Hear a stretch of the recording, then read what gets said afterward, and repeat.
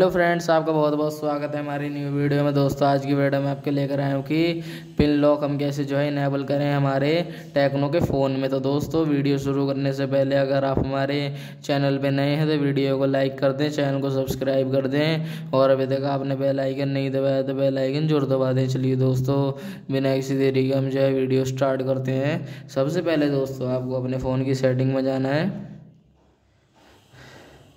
Setting में जाने के बाद दोस्तों यहाँ देखने को मिलेगा दोस्तों जो है सिक्योरिटी सिक्योरिटी पे क्लिक करें। क्लिक करने के बाद दोस्तों यहाँ पे आपको देखने को मिलेगा जो है दोस्तों स्क्रीन लॉक स्क्रीन लॉक पे क्लिक करें। यहाँ दिख रहा होगा दोस्तों पिन पिन पे क्लिक करें।